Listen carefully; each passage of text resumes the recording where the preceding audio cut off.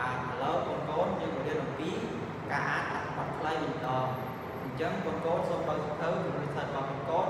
នៅទំព័រទី32បើកហើយនៅកូនបាទបើកហើយតើកូនឃើញរូបអ្វីបាទកៃតើកូនសាក់ទាញមើលតើគេកំពុងធ្វើអ្វីបាទខាកៃ ចឹងគ្រូនឹងអានអត្ថបទខ្លីនេះឲ្យកូនស្ដាប់ឆៃខៃកៃដល់ទៀតឆៃខៃកៃដល់ទៀតឆៃខៃកៃគឹកខៃកៃគឹកខៃកៃបាទចឹងកូនកូនយល់អត់បាទយល់កូនកូនអានជាមួយនឹងគ្រូ trái thải cây. Trái thải cây.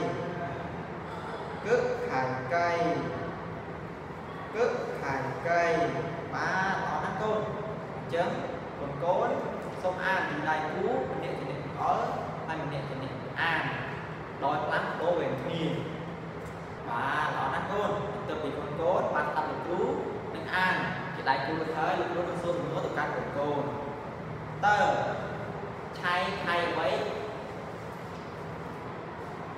kích với cốt rút cốt kích với mớ ba trái cành cây đó là cốt, chúng tôi mới biết ta nó là hay cây chỉ muốn cháy.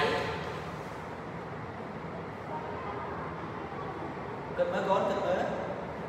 ba cứ chỉ nhé hai cây chỉ muốn cháy.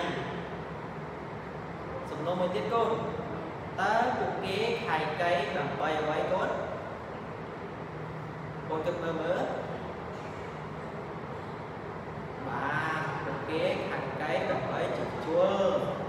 បាទដល់ណាកូនអឺចូលសំណួរបន្ទាប់ទៀតតើកូនគិតថាហេតុអ្វីបានជាពួកគេខាយកៃកូនកូនគិតមើលមើលបាទអរណាស់បានគេខាយកៃពីព្រោះគេខែកែដើម្បីជួ លចូលសំណុំមួយទៀតកូនតើកូនធ្លាប់ឃើញគេខែកែពីមុនទៅមកទេកូនបាទតើគេខែដើម្បីអ្វីកូនបាទគេខែដើម្បីជួល